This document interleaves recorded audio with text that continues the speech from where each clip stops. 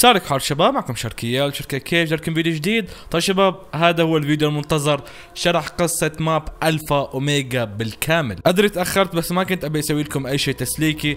أخذت وقتي وضبطت الأفكار بشكل كويس وجبت لكم فيديو محترم إن شاء الله. هذا الفيديو أخذ مني فوق ال 12 ساعة شغل والله. أدري ما راح يجيب قد نصف دعم فيديوهات ال top 10 أو ال top 5 اللي قاعد أسويها لأنه هذيك توصل لناس أكثر. بينما هالفيديوهات فقط للناس المهتمين بالزومبي. بس عادي ما يهمني هالشيء وعدتكم إني أكمل محتوى الزومبي وإن شاء الله راح أكمل عليه بنفس المستوى اللي يعجبكم. فأتمنى الكل حاليا يدعم الفيديو بزر ال like خلي هالفيديو ينتشر قدر الإمكان انشره لأصحابك المهتمين بالزومبي خليهم يفهموا القصة بالكامل قبل ال map الجاي اللي راح يكون نهاية القصة إلى الأبد. ملاحظة بسيطة شباب قبل أبدأ الفيديو الراديوهات بهالفيديو كلها مترجمة للعربي وفي شخص الله يعطيه العافية ساعدني بشكل جدا كبير بالترجمة اسمه تي ماس dot 15 هذا اسمه على إنستغرام وشيكوا بالوصف راح تلاقوا حساب على إنستغرام فأتمنى تروحوا وتسووا له follow وملاحظة ثانية مهمة أول 8 دقائق من الفيديو ما هي شرح قصة Alpha Omega؟ أول 8 دقائق شرح القصة بالكامل بشكل مختصر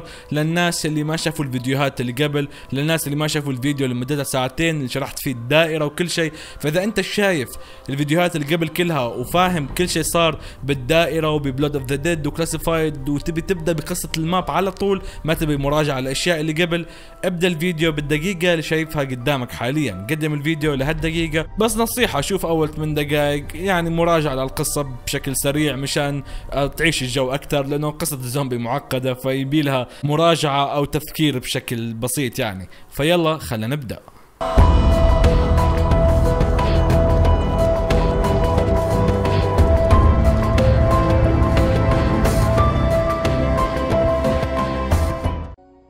شخصيات الصغيرة شخصيات برمس علقانين بدائرة ما إلها نهاية.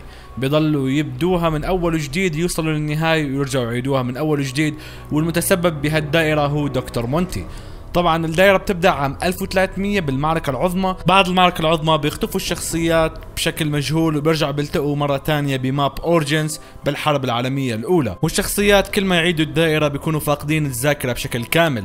فلما يلتقوا ب Origins ما بيعرفوا بعض مع إنهم كانوا مع بعض بالمعركة العظمى وكانوا مع بعض بالدائرة هالاشياء كلها عم بيرجعوا يعيدوها من أول وجديد؟ بس بيكونوا فاقدين الذاكرة. فمن Origins بنروح على map The Giant بنقتل ريكتوفن الكبير. بعدين بنروح على Der Eisendrache Zetsubou No Shima Gorod Krovi بنقتل الشخصيات الكبيرة كلها الباقية بنروح آخر شيء على البيت ب Revelations ب Agartha وهنيك Shadow Man بيطلع من السمنن كي لأنه شخصيات Shadows of Evil بيكونوا قتلوا Shadow Man وحطوا روحه من ال Summoning Key وركتوفن إجا قبل نروح على The Giant إجا على Shadows of Evil أخذ ال Summoning Key وبعدين راح على The Giant ف Shadow Man بيطلع ب Agartha عند البيت وبيدمر بعد Agartha بالكامل. بعد Agartha هو البعد المثالي اللي ما فيه أي مشاكل من تحكم دكتور مونتي بشكل كامل. فبالنهاية الشخصيات بيقدروا إنه يقتلوا ال Shadow Man وينهوا ال Apothicon من هداك البعد. بالنهاية دكتور مونتي بيحاول يمحي الشخصيات من الوجود يتخلص منهم بس قبل لا يلتقوا مع دكتور مونتي الشخصيات بيكونوا شاربين أنابيب الدم وشربوا أنابيب الدم لأنه كتاب ال Kronorium بيحكي لهم إنه لازم تشربوا أنابيب الدم. والكتاب مجرد ما حدا يقرأه بيدله على الشيء الكويس بالنسبة له اللي لازم يسويه وبيحكي له عن مستقبله. مشان هيك الكتاب حكى لهم لازم يشربوا أنابيب الدم. أنابيب الدم هي أنابيب دم شخصيات TranZit و Mob of the Dead. فلأنهم شربوا انابيب الدم دكتور مونتي ما بيقدر يقتلهم ما بيقدر يمحيهم من الوجود. فاللي بيعملوا إنه بيرجع بعيد فيهم الدائرة من أول وجديد للمعركة العظمى وبعدين Origins وبعدين راح يعيدوا الأحداث هي كلها من أول وجديد وبيضلوا هيك للأبد. بس ب Black Ops 4 ب Blood of the Dead تغيرت هالكلام كله وكسرنا الدائرة أو طلعنا عن الدائرة بعد Zetsubou بعد ما قتلنا تايكو الكبير شخصيات بالدائرة بشكل طبيعي بيروحوا على Blood of the Dead بياخذوا انابيب دم شخصيات ترانزيت وبيرجعوا على Zetsubou No Shima وبعدين بيروحوا على Gorod Krovi. بس ب Black Ops 4 لما الشخصيات راحت على Blood of the Dead صار شيء هنيك خلاهم ينحبسوا ب Blood of the Dead وبالتالي بالأخير اضطر ريكتوفن إنه يضحي بحاله ويقتل حاله ب Blood of the Dead عشان الشخصيات يطلعوا من Blood of the Dead لأنه كانوا علقانين ب Blood of the Dead بدائرة مصغرة ضلوا يموتوا ب Blood of the Dead ويرجعوا يعيشوا. كانت كأنها بعد جهنم كان من تحكم ال Shadow Man. فبالنهاية قدروا يطلعوا بعد ما ريكتوفن قتل حاله. ريكتوفن دمه بيحتوي على العنصر 115 بشكل كبير. فعن طريق دخوله بجهاز وسحب دمه قدر يفتح لهم بوابات ويطلعوا من Blood of the Dead وهذا الشيء كله اللي صار ب Blood of the Dead كان من تخطيط ال Shadow Man. ريكتوفن المعركة العظمى. مو قلنا ريكتوفن ببداية الدائرة لما يعيد الدائرة بيرجع للمعركة العظمى عام 1300 فبشكل من الأشكال أحد الريكتوفنات بأحد الأبعاد اللي كان بالمعركة العظمى ببداية الدائرة قدر إنه يطلع ويجي على المستقبل للشخصيات بدائرة بالمستقبل وخطط هالشيء كله ليكسروا الدائرة. وبمساعدة ريكتوفن اللي موجود بالمختبر اللي هو كمان راح يبدأ الدائرة تبعه. في أكثر من ريكتوفن إذا تبي تعرف التفاصيل كلها أنصحك تشوف الفيديو اللي مدتها ساعة و40 دقيقة اللي شرحت فيها الكلام كله. المهم مختصر الكلام. ريكتوفن بيقتل حاله منكسر انابيب الدم ب Blood of the Dead وبعدين ريكتوفن المعركه العظمى بيعطي كتاب ال Kronorium لنيكولاي. بيحكي لنيكولاي أنت القائد الجديد للمجموعة أنت لازم تقرأ الكتاب. الكتاب بيتغير على حسب قارئه. الشخص اللي بيقرأه راح يشوف كلام غير لما يقرأه شخص ثاني فبيحكي لنيكولاي أنت لازم تكون قائد الجديد للمجموعة لأنه أنت الوحيد اللي عندك روح. نحن بهذا الوقت من الدائرة كنا قاتلين ريكتوفن ببعد 2210 ريكتوفن صغير وأرسلنا روحه لعند دكتور مونتي. قتلنا ديمسي وتاكيو ب Zetsubou No Shima و Der Eisendrache وأخذنا روحهم. والوحيد اللي ما قتلناه لحد اللحظة بالدائرة لسه ما رحنا Gorod Krovi هو نيكولاي. فروح نيكولاي لسه معاه مشان هيك هو القائد الجديد للمجموعة. وركتوفن المعركة العظمى بيحكي له لنيكولاي رح نحتاج روحك للقضاء على دكتور مونتي.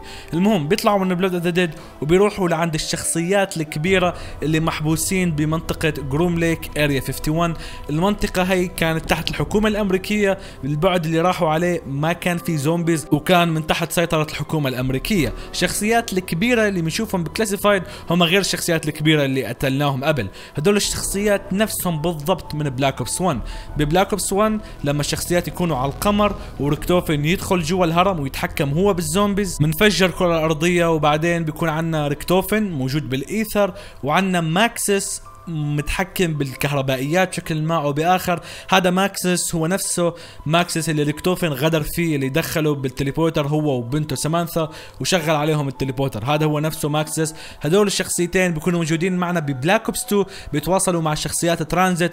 كل واحد بيحاول يقنعهم إنهم يساعدوه ليزيد تحكمه بال Aether ويقتل الثاني. فبالنهاية ماكسس بينتصر وبيقنع شخصيات ترانزيت وماكسس بيودي روح ريكتوفن اللي موجودة بالهرم بال Aether على زون زومبي على زومبي ريكتوفن بس للتوضيح هذا ماكسس من البعد الأصلي وفي ماكسس من البعد رقم 64 يلي كان مع ريكتوفن اللي ريكتوفن ب Origins أخذ مخه ووداه لعند البيت لعند دكتور مونتي وسوى منه هيئة دكتور مونتي ب Agartha في اثنين ماكسس فنرجع لموضوعنا. الشخصيات الكبيرة اللي بنشوفهم ب Classified هم نفسهم الشخصيات من Black Ops 1 ب Moon بعد ما صارت الأحداث هي كلها بشكل ما أو بآخر شخصيات بيعملوا teleport لعند منطقة Groom Lake Area 51 بأمريكا. بيكونوا الشخصيات الأربعة الكبار موجودين بمنطقة Groom Lake بأمريكا من تحت تحكم الحكومة الأمريكية. بعد ما في زومبي بس ريكتوفن بيكون ميت دماغيا. بيكون قلبه عم بينبض بس ما عنده روح لأنه فعليا روح ريكتوفن كانت بال Aether وبعدين ب Black Ops 2 روح ريكتوفن راحت لزومبي بعد ما ماكسس اللي انتصر. فريكتوفن بيكون ما عنده روح ابدا بيكون فقط جثة بس قلبه لسه عم ينبض. فاللي بيشوفهم هنيك هو عالم أمريكي ب Area 51 كان بيشتغل بمنظمة Broken Arrow اللي هي منظمة تدرس العنصر 115 وغيرها. كان اسمه كورنيليوس بارنيل بيشوفهم فبيعرف ريكتوفن بيعرف منهم ريكتوفن لأنه ريكتوفن كان آه، على صلة مع الحكومة الأمريكية من زمان يعني. فالمهم بياخذهم وبيحطهم جوا السجن. السجن اللي بنشوفه ب Classified بس يكون ريكتوفن ميت دماغيا. بعدين بياخذوا ريكتوفن بيقعدوا يعملوا عليه شوية تجارب أو أي شيء. هم عم بيعملوا عليه تجارب بتنفتح عندهم فتحة زمنية جوا الغرفة اللي عم بيعملوا عليها تجارب وبيدخل زومبي ريكتوفن يلي ماكسس حط روح ريكتوفن فيه اللي حكينا عنه بالماضي. فبيجي زومبي ريكتوفن بيلمس ريكتوفن الكبير الميت دماغيا وبيختفي. وفجأة ريكتوفن ميت دماغيا بيقوم نقل روحه.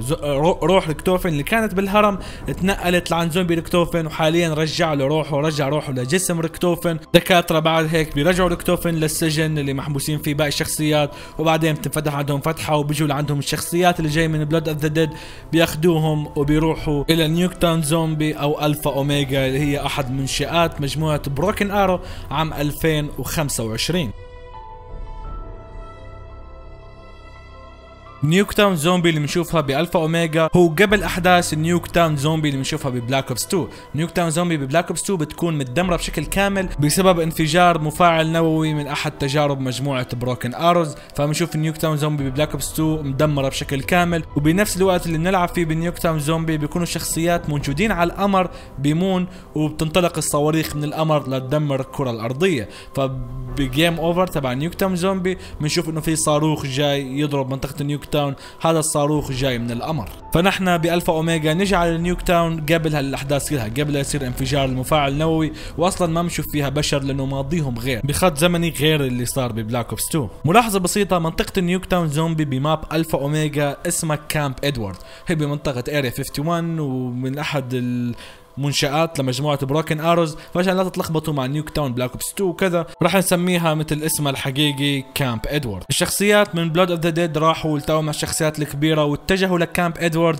مشان يحصلوا على ال Elemental Shard شوي رح تعرفوا شو هو ال Elemental Shard بس ليش إجوا؟ ليش بدهم ال Elemental Shard لأنه بعد ما نيكولاي صار القائد الجديد للمجموعة لأنه عنده روح وقرأ ال Kronorium. الكتاب عم يحكي له إنه لازم تروح على منطقة Camp Edward لتاخذ ال Elemental Shard راح تحتاجه بالحرب العظمى للقضاء على دكتور مونتي. ال Elemental Shard ما هو حجر الستاف الكهرباء نفس ما الكل مفكر تبع Origins لا.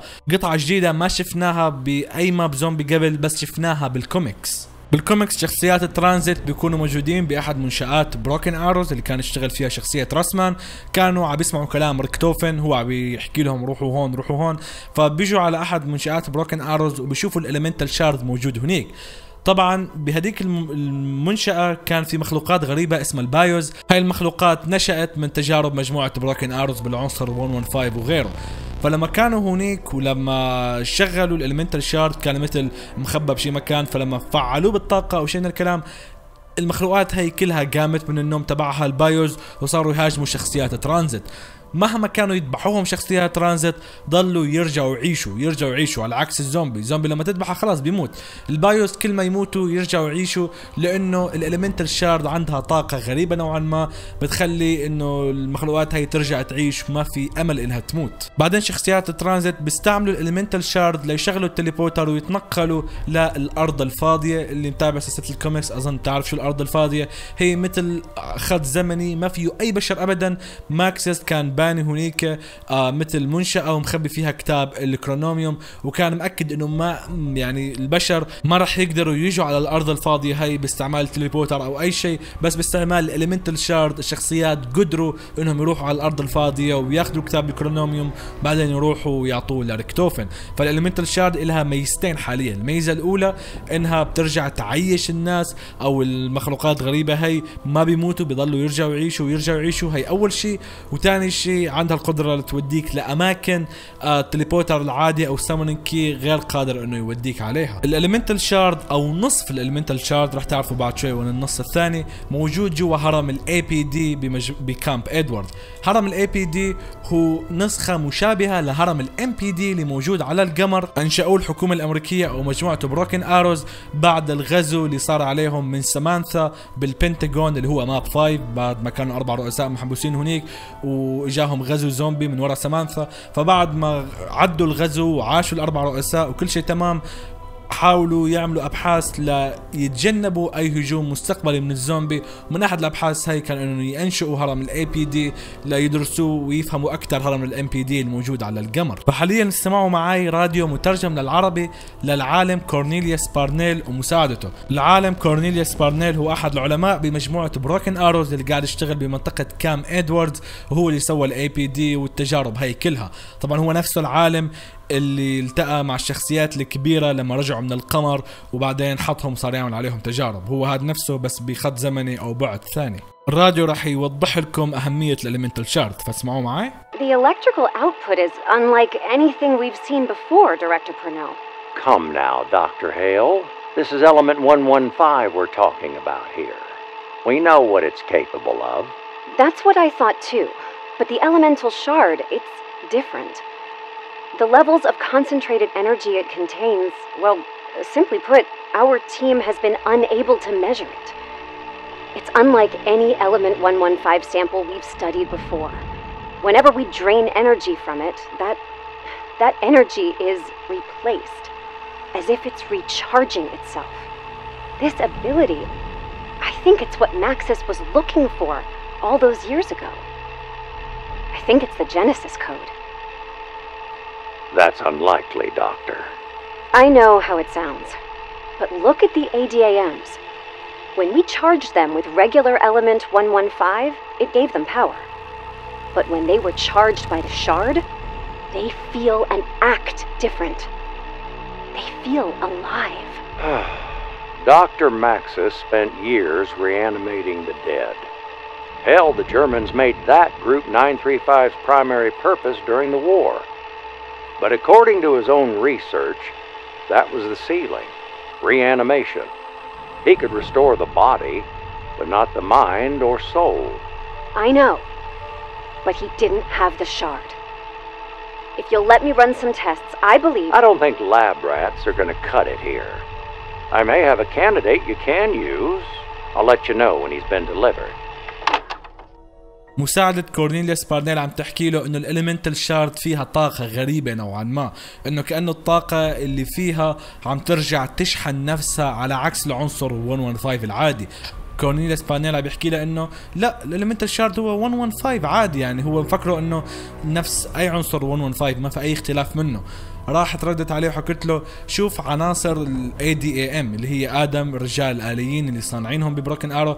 حكى لما نشحن الرجال الآليين بالعنصر 115 عم يشتغلوا بشكل عادي و okay يعني يمشوا على حسب أوامرنا.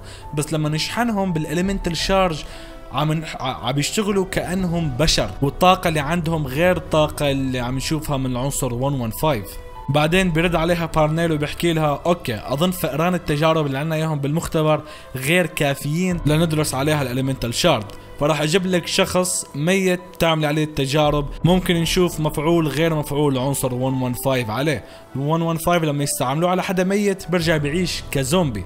فالشخص اللي راح يجيبه كورنيليوس بارنيل هو بيتر ماكين. بيتر ماكين هو جاسوس أمريكي بعثوه على Rising Sun Facility اللي هي المنشأة اللي كانوا مجموعة 935 الألمانية النازية و Division 9 اليابانية عم يعملوا تجارب عليها. فبعثوه هناك ليتجسس عليهم ويجيب لهم شو الأشياء والتجارب اللي عم يعملوها على أمل إنه يعني يفهموا أكثر العنصر 115 هذا الكلام بالتسعينات مو عام 2025 فالمهم عن طريق الغلط لما نطن الباراشوت تبعه انشنق بالباراشوت تبعه بالغلط وبنشوفه مشنوق شنو ببداية map Shi No Numa اللي هي Rising Sun Facility اللي كانوا يعملوا الأبحاث ب Call of Duty World at War إذا بدك تعرف تفاصيل قصة بيتر ماكين كلها أنصحك تشوف الفيديو اللي هو شرح قصة الزومبي بالكامل موجود بالوصف. فكورنيليوس بارنيل هو اللي بيكون بعت بيتر ماكين ليتجسس عليهم هو اللي بيعطيه الأمر.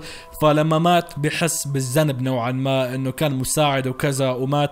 فهلأ بيجيب لها جثة بيتر ماكين ليعملوا عليها التجارب على أمل إرجاعه للحياة كإنسان طبيعي مو كزومبيز. This is Broken Arrow Operations Director Purnell, accompanied by Dr. Hale. The date is June 1st, 1964. It's approximately 1 a.m. We're about to begin test number 22. Dr. Hale, you may proceed when ready. Confirming conduits have been linked with the shard. Output set to 5,000 volts. Duration set for 10 seconds. Beginning now.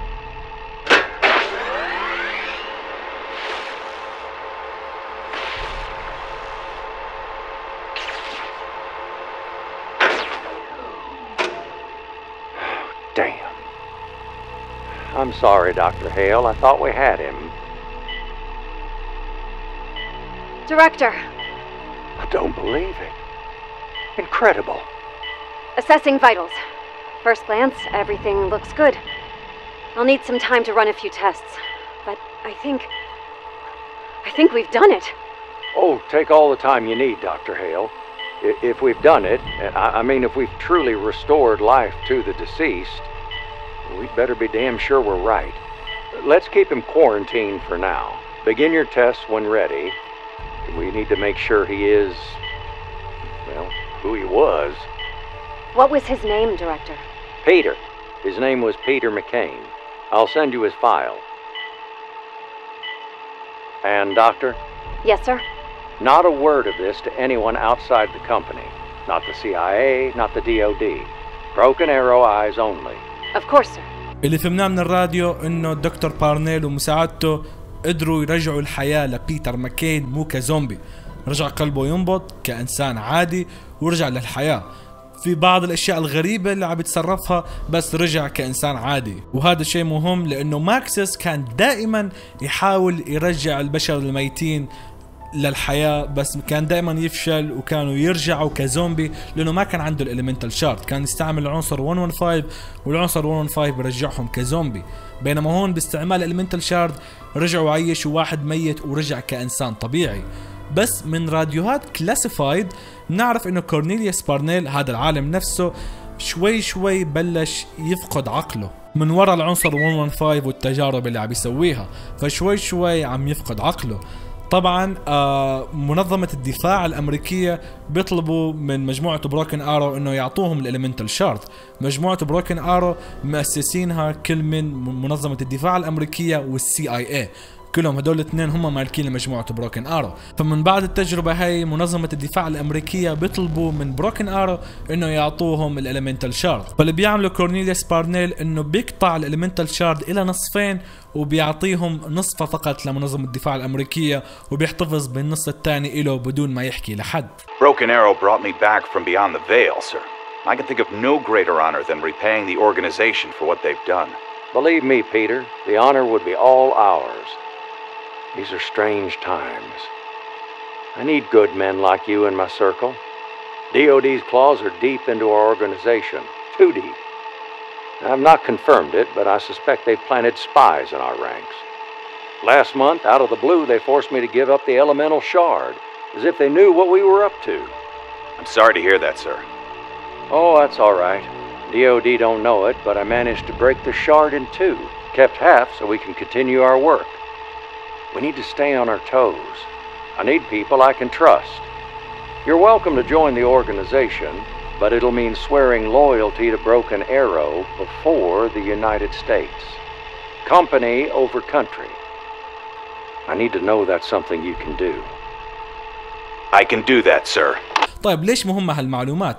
لأنه ال elemental shard اللي نحن جايين عشان ناخدها ب Camp Edward map Alpha Omega موجودة جوا الهرم جوا ال APD ومين كمان جوا الهرم كورنيليوس بارنيل نفسه موجود جوا الهرم. كيف دخل جوا الهرم؟ مثل ما قلت لكم كورنيليوس بارنيل من وراء العنصر 115 شوي شوي بلش يجن وبلش يفقد مخه.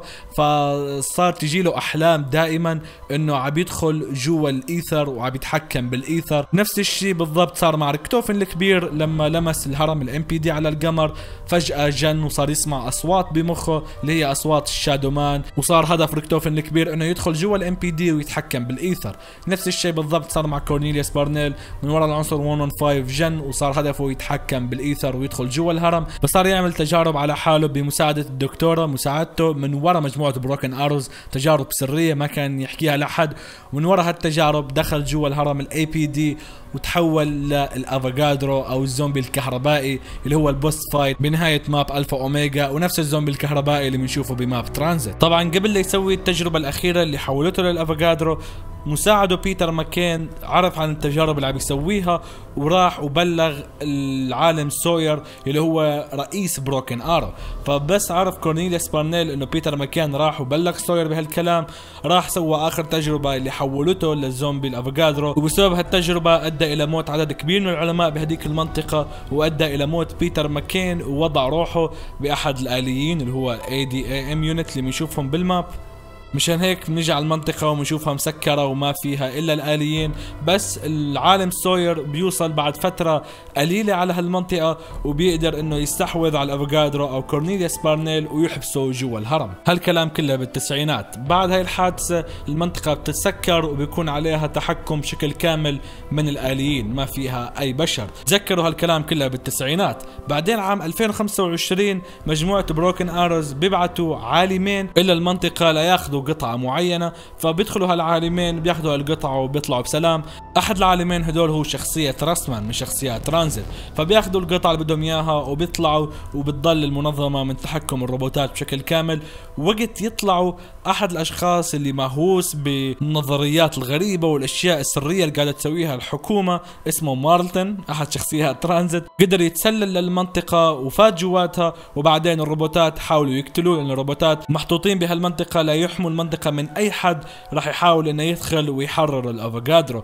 فبيروح شخصية مارتن بيلاقي أحد الخزانات بيدخل جواتها وبيقفل عليه الباب. بنشوفه بأحد خطوات حل اللغز بيعطينا قطعة وبيكون متخبي ورا الأبواب. فحاليا ال elemental shard أو نص ال elemental shard موجود جوا هرم ال APD وكورنيليوس بارنيل الزومبي الكهربائي الأفوغادرو موجود جوا هرم ال APD فالشخصيات بس يوصلوا على Camp Edward أو map Alpha Omega بيفتحوا الكهرباء وبيصحوا الكمبيوتر الذكاء الاصطناعي راشمور. هالكمبيوتر كان مؤسسينه مجموعة Broken Arrow ليحميها أو شيء من الكلام. فكمبيوتر الذكاء الاصطناعي بيكون نايم لفترة جدا طويلة من بعد الحادثة اللي صارت مع بارنيل والناس اللي ماتوا وخلص أخلوا المنطقة وخلوا بس فيها روبوتات. آدم من يومها سكروا الكمبيوتر الذكاء الاصطناعي بشكل كامل. فالكمبيوتر بس يصحى من النوم بيتفاجئ بالشيء اللي صاير بالمنطقة وإنه ما فيها بشر ولا شيء بلاقي الشخصيات الكبيرة والصغيره موجودين. فبده الشخصيات يثبتوا ولائهم أو على الأقل ذكائهم عن طريق مهمات معينة اللي هي خطوات حل اللغز واللي هي آخر خطوة إنه نرجع نعيش شخصية بيتر ماكين أو نطلع روحه. فنحن بخطوات حل اللغز بنثبت ولائنا للكمبيوتر راشمور وبعدين بيصحي بيتر ماكين وبيتر ماكين بيحكي إنه بيوثق فينا. فبالنهاية الكمبيوتر بيفتح لنا البوابة لل APD عشان ندخل وناخذ ال elemental shard بس لازم نواجه الأفوغادرو أو كورنيليوس بارنيل اللي هو جوا الهرم كمان قبل لا ناخذ ال elemental shard طيب بس ليش نحتاج ال elemental shard ببداية الفيديو شفنا فائدتين لل elemental shard من وراء ال comic. أول شيء إنه فينا ترجع تعيش آه البايوز اللي هم الشبيهين الزومبي بتضل تعيشهم مهما ماتوا بيرجعوا بيعيشوا ما لا نهاية ما في طريقة إنهم يموتوا طالما إنهم مشحونين من ال elemental shard بعدين بال map هلأ من الراديوهات شفنا إنه ال elemental shard ترجع تعيش الموتى وترجعهم كمثل ما كانوا ما ترجعهم كزومبي ترجع تعيشهم بوعيهم الكامل. بس ما أظن رح نحتاجها لنعيش حد. مين في حد ميت بقصة الزومبي ونبي نرجع نعيشها؟ حاليا ما في يعني الكل موجود.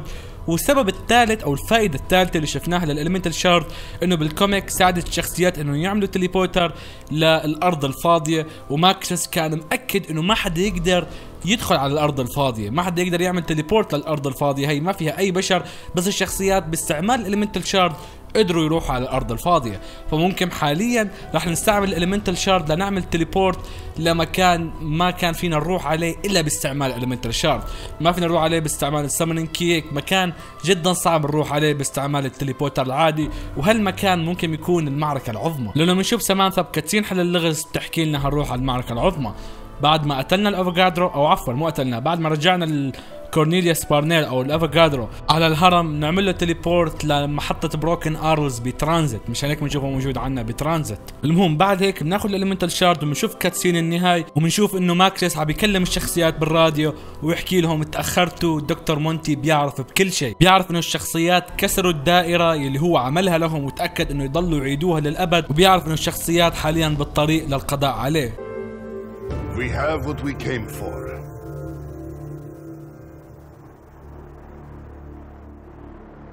The elemental shard. Hooray for us! It's too late! Maxis?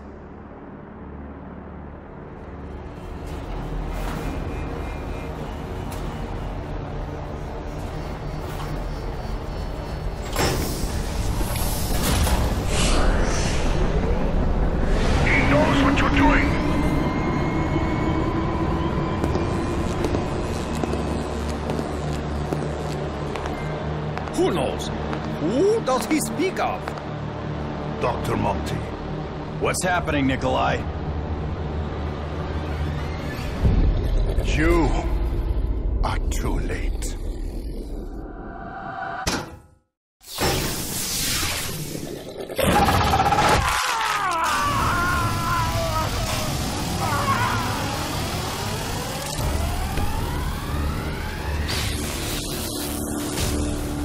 كيف عرف هالشيء؟ ممكن حد يقول هو إله عالم الزومبي عنده هالقوة الخرافية اللي بيعرف كل شيء.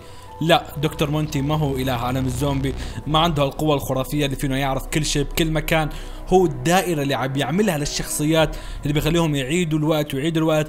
تعطيه قوة الإله إنه هو عنده التحكم بأجارثا بشكل كامل عنده تحكم بالأبعاد الثانية بشكل خفيف بس بأجارثا البعد اللي هو موجود فيه اللي هو map Revelations عنده التحكم فيه بشكل كامل وهو بضل يخلي الشخصيات ليصير عنده قوة الإله. هي. فدكتور مونتي عرف إنه الشخصيات كسروا الدائرة لأنه ما وصلته أي أرواح. المفروض حاليا يكونوا شخصيات ب Gorod Krovi مو حاليا المفروض من قبل من وقت Blood of the Dead على هذاك الوقت لازم شخصيات يكونوا ب Gorod Krovi وبعثوا له الأرواح وإلى الآن ما وصلوا أي شيء. وكمان دكتور مونتي لما يكونوا الشخصيات بالدائرة بيعرف هالشيء. هو اللي بيساعد الشخصيات بالدائرة.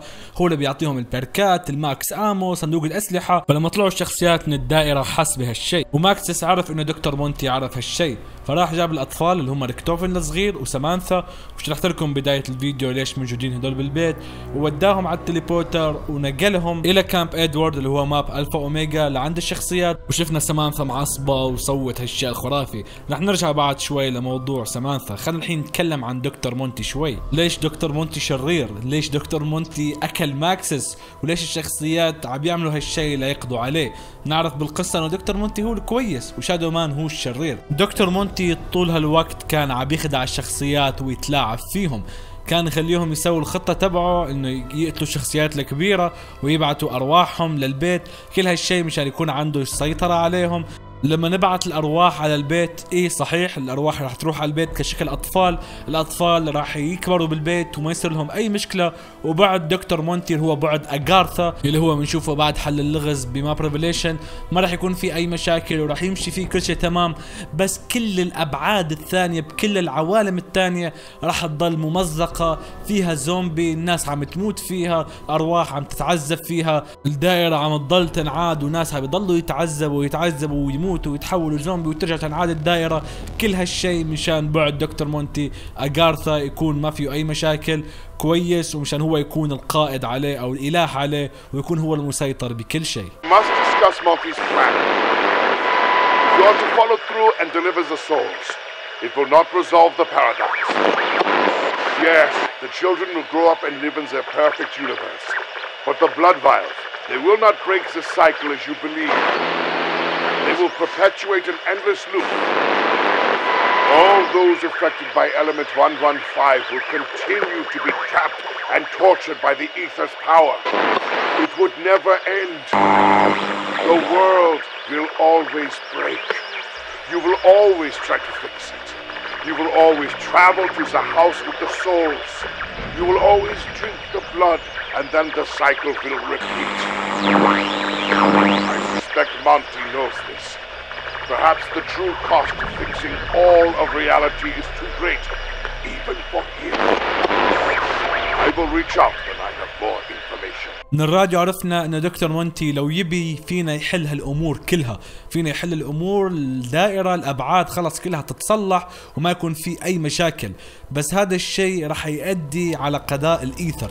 هذا الشيء راح يؤدي إلى اختفاء الإيثر بشكل كامل من العوالم وتصير العوالم تمشي بشكل طبيعي واختفاء الإيثر معناته راح تختفي أجارثا.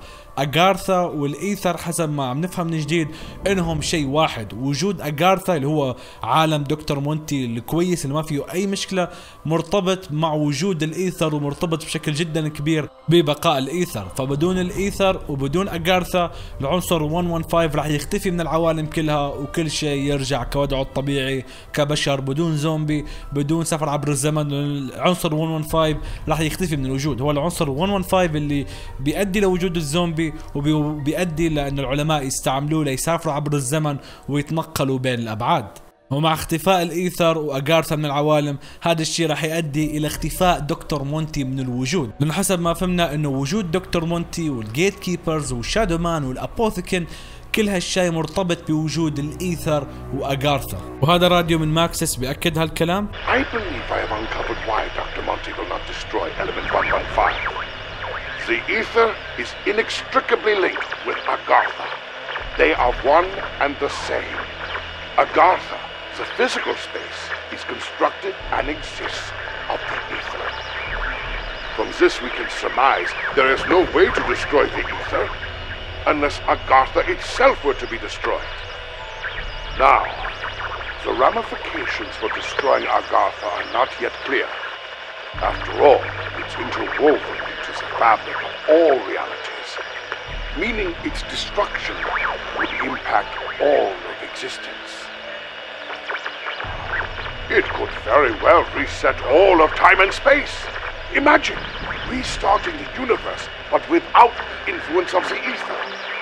Yes, this, this is the reason. This is why Dr. Monty will not truly fix the paradox. Destroying Agartha. I may need to resort to drastic measures. Stand by, Doctor. Wait on my signal. You will hear from me very soon.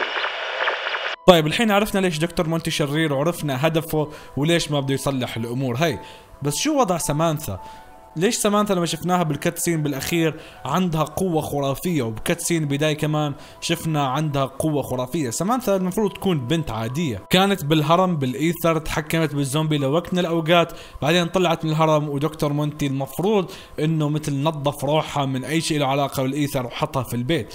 فحاليا بس طلعت من عند دكتور مونتي. من وين إجت لها كل هالطاقة الخرافية؟ سمانثا دائما في قصة الزومبي في شيء غريب حواليها. كأنه عندها طاقة معينة بس مو قاعدين نشوفها الزومبي من Black Ops 1 ونص Black Ops 2 دائما لما يضربونا بيحكوا سام.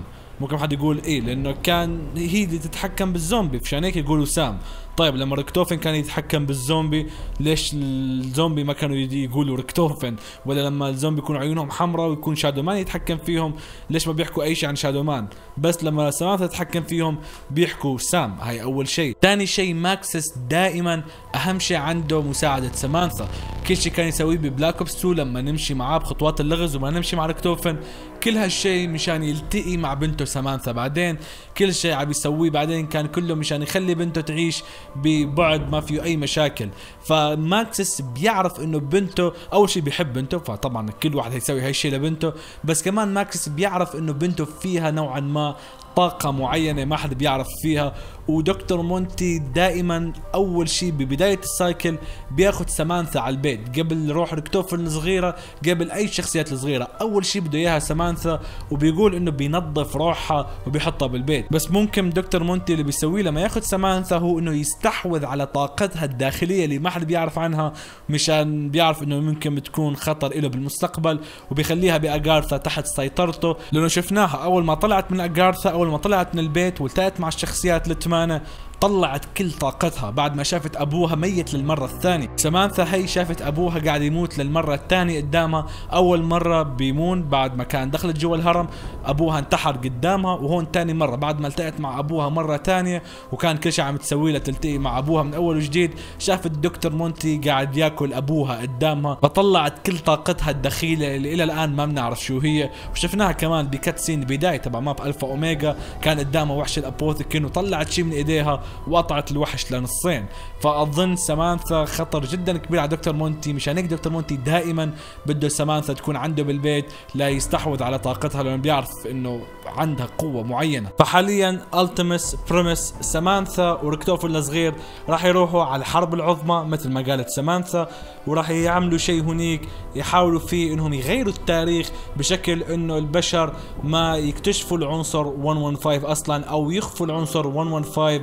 بالحرب العظمى بشكل إنه ما يوصل للبشر بالمستقبل وبالتالي ما يكون في أي مكان للعنصر 115 بالعالم. بعدين حكت رح نروح على البيت and kill him قصدي إنه بعد هيك رح نروح على البيت لعند دكتور مونتي ونقتله وبالتالي نمحي الإيثر وأجارثا من الوجود لمنع احتمالية عودة العنصر 115 مرة ثانية للأرض أو الأبعاد وبالتالي ترجع المشاكل كلها من أول وجديد. ملاحظة صغيرة ممكن حد يقول طيب بشار إذا الشخصيات لما يكسروا الدائرة راح يدمروا إيثر والاجارثا وبالتالي يمحوا آه، دكتور مونتي وشادو مان وال Apothicon من الوجود. ليش شادو مان بده يكسر الدائرة؟ ليش شادو مان ب Blood of the Dead سمعنا راديوهات إنه هو كان المخطط لكسر الدائرة. لأنه هدف الشخصيات بعد كسر الدائرة هو إنه محي ال Aether واجارثا من الوجود وبالتالي مسح شادو مان وال Gatekeeper وال Apothicon كلهم من الوجود. وباقي العوالم تعيش بسلام بدون العنصر 115 شادو مان ما هدفه إنه يمحي ال Aether. شادو مان هدفه ياخذ مكان مكان دكتور مونتي ويتحكم بأجارثا